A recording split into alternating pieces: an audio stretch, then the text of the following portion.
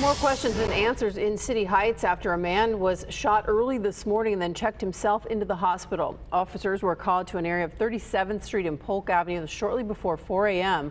When they arrived, they were unable to find a victim, but discovered a possible crime scene in a nearby alley. It was marked with shell casings and a trail of blood.